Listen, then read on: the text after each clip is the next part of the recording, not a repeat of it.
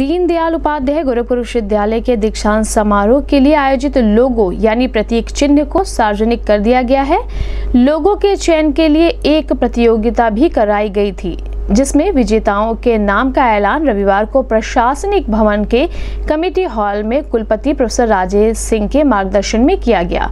निर्णायक मंडल की ओर से विश्वविद्यालय के बीए तृतीय वर्ष की छात्रा प्रतिष्ठा मिश्रा के लोगों को प्रथम स्थान प्रदान किया गया है, यानी दीक्षांत समारोह में प्रतिष्ठा का लोगो अपनी चमक बिखेरेगा।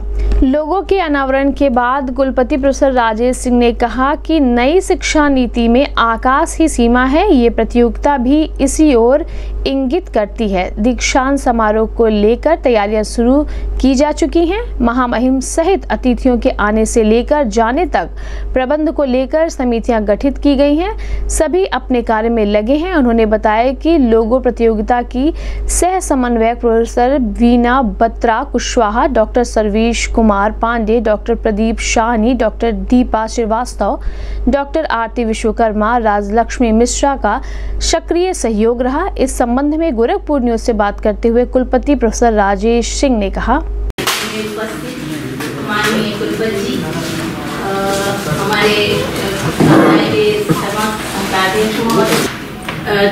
बहुत संक्षिप्त कार्यक्रम होगा जिसमें हम अब लोगों, जो हमारा है, जो प्रतीक चिन्ह है हम उसके बारे में उसका उद्घाटन करेंगे और थोड़ा सा उसमें संक्षिप्त परिचय भी देंगे। ए, वो हमारे दीक्षांत समारोह का एक महत्वपूर्ण उसका अंग होती है कि हम किस दिशा में सोच रहे हैं और ये एक महत्वपूर्ण भूमिका हमारे सभी कार्यक्रम में उसका स्थान होता है। जो हमारा है लोगो उसके उद्घाटन के लिए माननीय कुलपति से मैं निवेदन करती हूँ उसकी कन्वीनर महोदय प्रोफेसर सुधा यादव जी।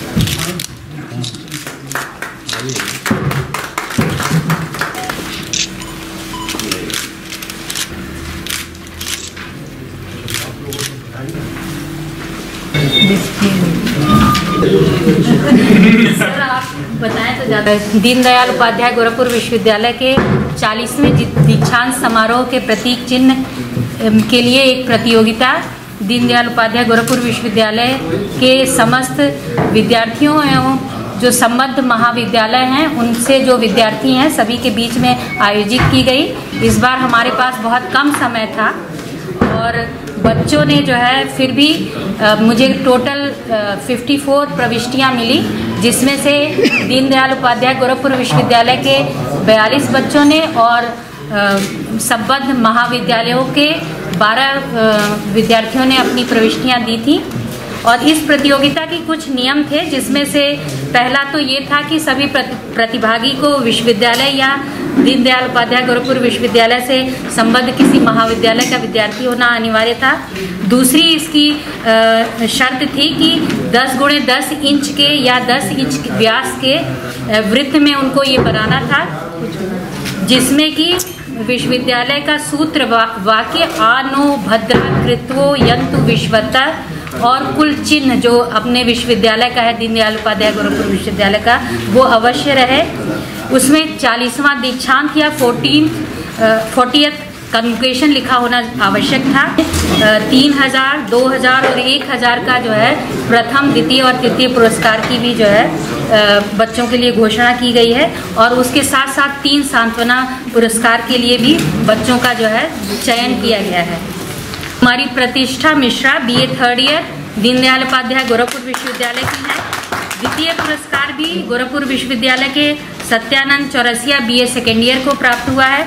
तृतीय पुरस्कार Meenu Chaurasia M A second year Deendayal Upadhyay Gorakhpur विश्वविद्यालय गोरखपुर प्रथम सांत्वना पुरस्कार दिलीप कुमार त्रिपाठी शोध छात्र वनस्पति विज्ञान दीनदयाल उपाध्याय गोरखपुर विश्वविद्यालय गोरखपुर को द्वितीय सांत्वना पुरस्कार Ravita Bharti BA second year Deendayal Upadhyay Gorakhpur विश्वविद्यालय गोरखपुर और तीसरा सांत्वना पुरस्कार भी Ajit Kumar Vishwakarma MA third semester Deendayal Upadhyay Gorakhpur विश्वविद्यालय को प्राप्त हुआ है।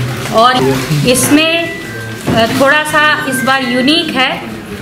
इसमें पेन और आपका जो है ब्लू कलर का यूज़ हुआ है। जैसे कि पेन से कलम से हम आसमान की ऊंचाइयों को प्राप्त करें। कुछ ऐसा ही कंसेप्ट लिया गया है। और इसमें विश्वविद्यालय का प्रतीक चिन्ह और 40 को बड़े ही यूनिक वे में लिखा गया है। इस और हम लोग जो है, जो हमारे जो जजेस थे, उन्होंने कुछ इसके बारे में जो है खास यही संकल्पना की कि ये सबसे अलग है। जैसा कि आप लोग जानते हैं कि आज हम लोग ने जो चालीसवें दीक्षांत समारोह का जो लोगो है, उसको लॉन्च किया है। लोगों के बारे में मैडम बता चुकी हैं। जैसा आप देख रहे हैं हमारे इस पे ऑनलाइन भी दिखाया जा रहा है कि पेन है और ब्लू कलर है। ब्लू कलर से आ, हमारा जो यूनिवर्सिटी का लोगो भी है। ब्लू कलर जैसा बताया गया है कि स्काई को आसमान को आ, अंकित कर रहा है। आसमान का मतलब है ये कुछ ना कुछ न्यू एजुकेशन पॉलिसी से रिलेटेड है। जो एजुकेशन है न्यू एजुकेशन पॉलिसी जो है, वो स्काई इज़ ए लिमिट ऐसा कहा जा रहा है। जो फ्लेक्सिबिलिटी जो आ रही है, जो इतना इसमें जो चूज़ करने की, जैसे आप सुन रहे होंगे इस समय क्रेडिट आवर है सीबीएस सिस्टम है आप कोई भी कोर्स कहीं का भी कोर्स चूज़ कर सकते हैं ऐड कर सकते हैं यूजीसी कोर्स नए बनाए जा रहे हैं और फ्लेक्सिबिलिटी बढ़ती जा रही है। इसमें स्टूडेंट के पास इतना स्कोप है कि वो आसमान तक, जो एजुकेशन में चीज़ें हैं, वहाँ तक पकड़ सकता है और आगे बढ़ सकता है। कहीं भी यहाँ का बच्चा जो है, गोरखपुर का बच्चा या गोरखपुर के किसी भी अफिलेटेड कॉलेज का बच्चा किसी भी जगह जा सकता है अगर उसका पेन उसकी पढ़ाई जो यू न्यू एजुकेशन पॉलिसी के अम्ब्रेला में आ रही है अगर वो आ, उस पर उसको अगर उस पर चलेगा उस रास्ते पे तो वहाँ तक जाएगा। ये खास बात है। ये जो न्यू एजुकेशन पॉलिसी के अंतर्गत ये पहला दीक्षांत समारोह है हमारा। हमने जो कुछ और भी तैयारी की है जैसे कि हमारे कई आप जान रहे हैं कि जो बहुत सारे सब्जेक्ट यूजी में पी, पीजी में और पीएचडी में लागू हो चुका है सीबीएस सिस्टम और कहीं में डिग्रियाँ भी दे रहे हैं। तो पहली बार कुछ डिग्रियाँ हम ऐसी देंगे जिसमें परसेंटेज चिन्हित नहीं होगा। उसमें लिखा जाएगा जैसे पुरानी डिग्रियाँ तो उसमें रहेगा थर्ड डिवीज़न सेकंड डिवीज़न से मिलेगा। लेकिन इसमें हम लोग करने जा रहे हैं कि ग्रेड पॉइंट देने जा रहे हैं, जो न्यू एजुकेशन पॉलिसी में है, कि छः point two eight grade point B plus grade उसमें दिए नहीं देंगे कितना परसेंटेज है। तो जो न्यू एजुकेशन पॉलिसी का जो वो है, उसको हम लागू करने जा रहे हैं। तो उसकी डिग्री भी दे रहे हैं, उसी अनुसार गोल्ड मेडल की भी तैयारी कर रहे हैं। तो ये कुछ नई बातें जो इसमें हैं। बाकी आप जैसे, आप जानते ही हैं इस लोगो प्रतियोगिता में, जिसके लिए आप लोग आए हैं। प्रथम जो स्थान है, प्रतिष्ठा मिश्रा को गया है। ये बी ए तृतीय डी की छात्रा हैं। द्वितीय पुरस्कार सत्यानंद चौरसिया को गया है। द्वितीय पुरस्कार मोनू चौरसिया को एम ए द्वितीय वर्ष को गया है। और कॉन्सलेशन प्राइज़ हैं, दिलीप कुमार त्रिपाठी हैं, शोध छात्र हैं। और दूसरा काउंसिलर प्राइज रबिता भारती हैं। ये बीए द्वितीय वर्ष के छात्र हैं। अजीत कुमार हैं, विश्वकर्मा है, जो एमए के छात्र हैं। तो इसमें वाइड रेंज ऑफ़ पार्टिसिपेशन है। बीए का बच्चा भी है, पीएचडी का बच्चा भी है, एमए का बच्चा भी है। तो ये एक पॉपुलर इवेंट है। हमारा एक सिंबॉलिक है कन्वोकेशन का।